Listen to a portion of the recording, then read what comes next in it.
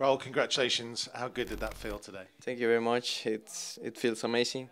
Uh, come here to Manchester, uh, this big stadium, this big club, and had a, a win.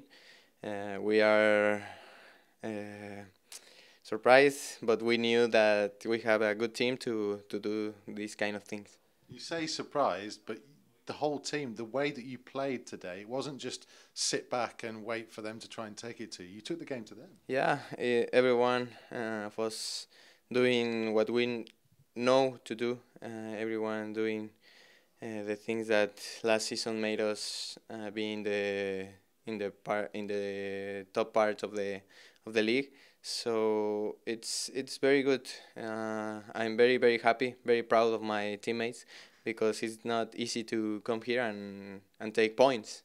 And now we won and we are very, very happy. Is it even more impressive coming off the back of a, a, trip away in Europe on Thursday night? I know obviously a brilliant result that was, but the amount of travelling you guys have done this week as well to play like that and get that result says a lot. Yeah, we had a lot of matches. Uh, every every week we are playing uh, Wednesday, Thursday, or Sunday, Saturday.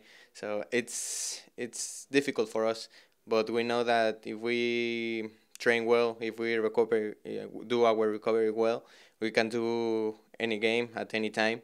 So we are we are a, a very good team, proud of of what we do, did today. You need a rest. Are you looking forward to that break? Yeah, now we have a break. It's good now to have a break too in my national team. So well, enjoy this week uh, because we have to continue with this and in two weeks we have another good game that we have to do our uh, really good things to make this this win count.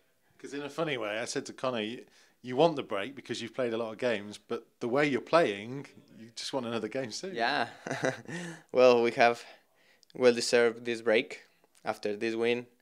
I think the Mister said us that we have more days three days. So well, we are all of us happy. We are very very proud of ourselves. Uh, as I told you, uh, it's not easy to come here and draw. Uh, it's difficult uh, to win, so we, we did it and we made it good. And just finally, what's that like at the end when you're walking over towards the fans? You had it on Thursday, you had it today. The noise from that travelling support was amazing. Yeah, it's amazing. Always the supporters that are in every game at home, at Turkey, now here at Manchester. Uh, it's amazing. They supporting us every time, uh, every minute of the game. So this this win is for for them too.